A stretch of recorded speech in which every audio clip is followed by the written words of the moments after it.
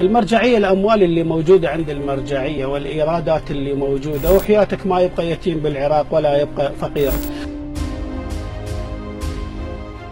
الشهيد العراقي اللي ضحى بنفسه وعمره وعائلته وأولاده وأمه وأبوه وبالتالي يدفن في مساحة جغرافية قيمتها متر ونص يأخذون من عنده فلوس القبر وين المرجعية والله هذا الماء اللي موجود ينزل من الحنفية بالبصرة والله ما تقدر تغسل إيدك به زين هل من الصعب أنه يوجد معمل لتصفية أو محطة لإنشاء التحلية وما كم يكون آه، قيمتها المادية؟ هذا ماي البصرة.